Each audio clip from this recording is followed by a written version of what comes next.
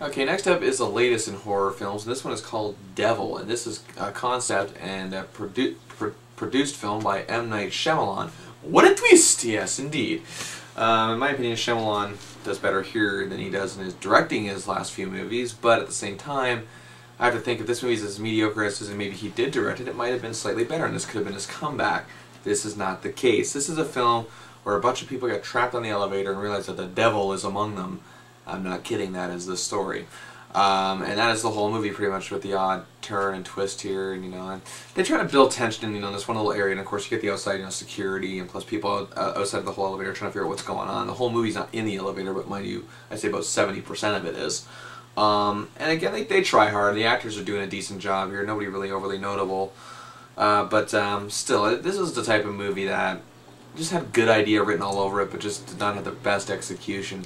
This movie's not terrible by any stretch of the imagination. There are horror films I've seen that are a million times worse than this, and you know the uh, the the whole mindset is there. In it, I guess you say it's weird to say this about a horror movie. It's heart, or I guess you say it's black heart is in the right place, but uh, you know, at the same time, it's just it it doesn't seem to be beating. I guess is the proper way to put it. And again, when you when you watch a movie like this, you want you want it to succeed. It's almost you know the type of film like, hey, that no, that's a good idea. Oh, this is gonna be great. You know, that's the type. No, it, it, just really didn't succeed on many levels here.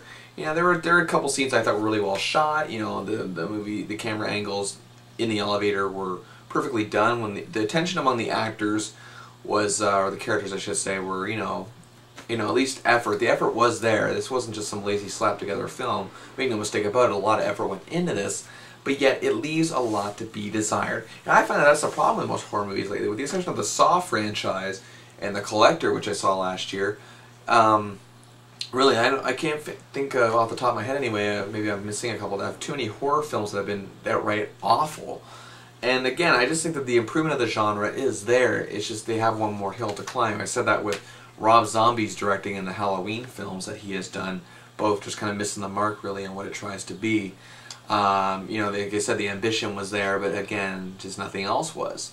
And that is really important in a horror film. You got to have that. Now, uh, I reviewed a film last week called The Last Exorcism, and really that, that, that film really understood the idea of what um, ambition with a goal is all about, and it really achieved that goal. This movie could have done that, but it didn't. Devil, I give two stars out of five.